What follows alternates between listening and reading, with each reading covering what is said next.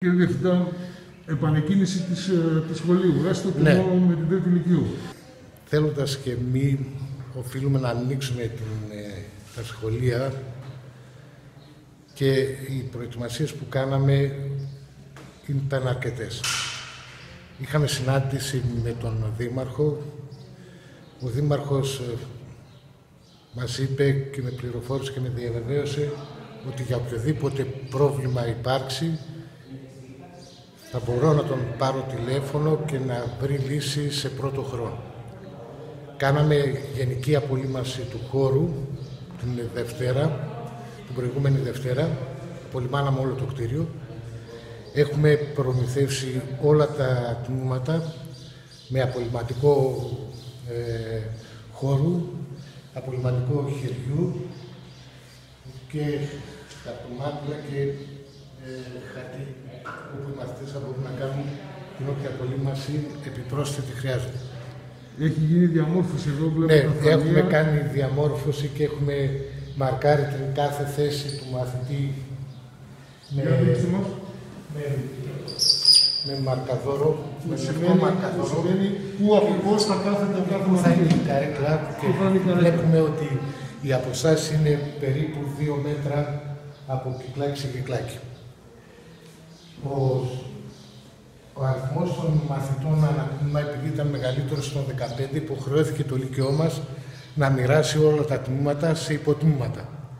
Έτσι λοιπόν τη μία εβδομάδα Δευτέρα, Τετάρτη, Παρασκευή έρχονται τα υποτμήματα Α και Τρίτη, Πέμπτη έρχονται τα υποτμήματα Β και αυτό εναλλάσσεται την επόμενη εβδομάδα Μιλάμε μόνο για τους μαθητές της ηλικίου. της Τρίτης Λυκείου και κάτι αντίστοιχο θα γίνει και για τους μαθητές της Πρώτης και Δευτέρας Λυκείου όταν με το καλό έρθουν στο Λύκειο.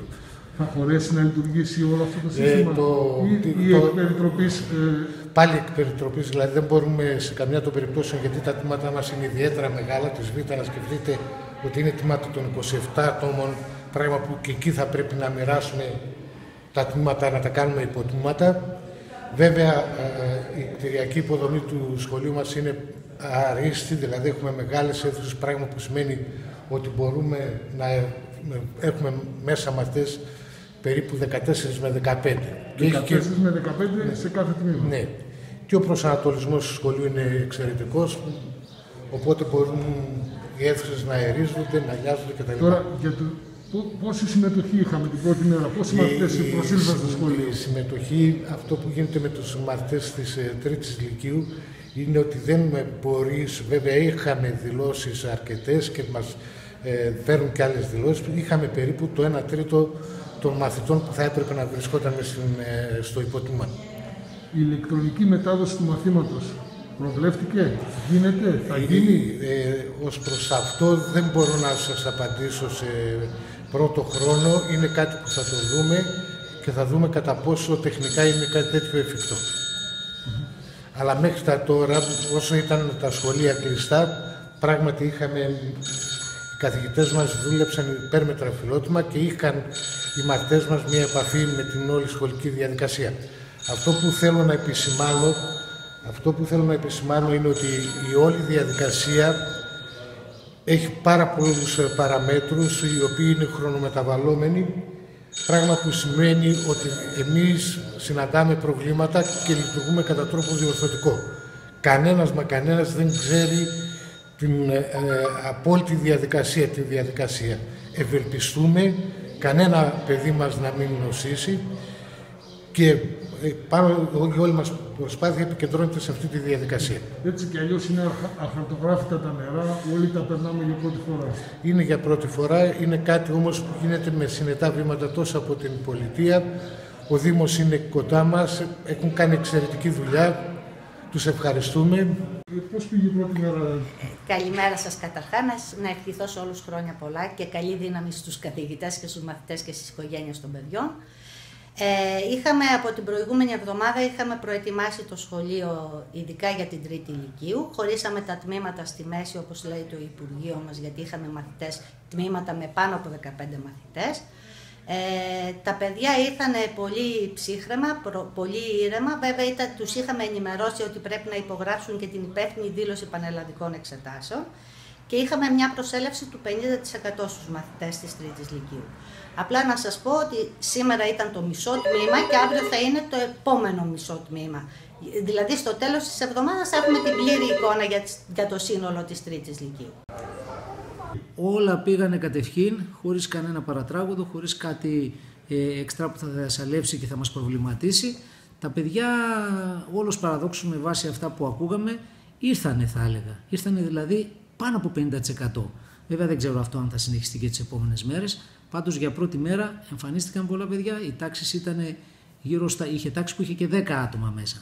Πάντως όχι πάνω από 15, εντάξει, γιατί ούτως ή άλλως τα τμήματά μας δεν είχαν και υπερβολικά παιδιά. Ίσως αυτά θα χρειαστεί να σπάσουμε τμήματα στην Α και στη Β τάξη. Εκεί νομίζω ότι θα έρθουν πολύ περισσότερα παιδιά. Πάντως επαναλαμβάνω ότι τα παιδιά ήταν αρκετά. Ξεπεράσανε τις προσβλέψεις. Είχατε μια λοιπόν, ίδιο, ιδιομορφία, κάνατε θερμομέτρηση. Ναι, ναι, ναι, ναι, ναι. Ε, πήραμε, έχουμε τα πάντα στο σχολείο. Είδα, βλέπαμε στις τηλεοράσεις, οπότε αποφάσισα να πάρω και ένα θερμόμετρο που θα κάνουμε θερμομέτρηση των παιδιών και των καθηγητών όταν ήρθανε. Το έδωσα λοιπόν στην, ε, σε ένα συνάδελφο και στην φύλακα κάτω. Ο ένας έκανε θερμομέτρηση στα παιδιά και ο άλλος τους έριχνε αντισηπτικό στα χέρια τους ώστε εισερχόμενοι μέσα να είναι πεντακάθαροι θα έλεγα και από πλευράς ε, εσωτερικής θερμοκρασίας και από πλευράς αντισηψίας των ε, χεριών. Νομίζω ότι όλα πήγανε καλά. Έχουμε οργανωθεί, είχαμε κάνει την προετοιμασία, έχουμε αντισηπτικά. θα καθαρίζετε το σχολείο. Έχουμε, εμείς έχουμε το ευτύχημα ότι έχουμε δύο μόνιμες καθαρίστρες, οι οποίες όλο το χρονικό διάστημα του προηγούμενου είχαν κάνει την προεργασία. Είναι στα διαλύματα, καθαρίζουν τις κουπαστές, ε, μπαίνουν στις τάξεις, αλλάζουν τις ε, χειροπετσέτες από τα, από τα σημεία που έχουμε βρύσες και ε, σαπούνια για να πλένονται τα παιδιά. Γενικά υπάρχει μια κανονική εύρυθμη λειτουργία. Τώρα βέβαια ας ελπίσουμε ότι ε, δεν έχουμε τύπους ασυμπτωματικούς οι οποίοι, οι οποίοι πιθανόν να μεταφέρουν κάτι και σε εμάς οι οποίοι είμαστε κατεξοχήν αυτοί οι οποίοι κινδυνεύουμε. Πρόεδρε, σαν Ελμέ, ποια είναι η θέση σας; Ξεκίνησε το σχολείο με την τρίτη ηλικίου. Βέβαια το Υπουργείο μιλά και για διαδικτυακά μαθήματα. Θετικό το άνοιγμα των σχολείων. Πρώτη ημέρα σήμερα για την τρίτη ηλικίου. Βέβαια η τρίτη ηλικίου παραδοσιακά τον τελευταίο μήνα δεν εμφανιζόταν στο σχολείο. Από μία εικόνα βλέπουμε ότι έχουμε γύρω στο 40% συμμετοχή. Αλλά αυτή την εβδομάδα πιστεύω είναι μόνο η πρώτη ή η δεύτερη μέρα. Κυρίως τα παιδιά έρχονται για κάποια διαδικαστικά με τις πανελλαδικές. Το λογικό είναι ότι θα κάτσουν στο σπίτι να διαβάσουν. Θετικό το άνοιγμα. Ακόμα πιο θετικό την άλλη εβδομάδα ανοίγει και η Δευτέρα Λυκειού και η πρώτη και τα γυμνάσια. Να μπουν σε μια καθημερινότητα έτσι ώστε να μπορέσουν να ενσωματωθούν και σιγά σιγά στην κοινωνία. Πρώτα στο σχολείο, μετά έξω σιγά σιγά τα καταστήματα.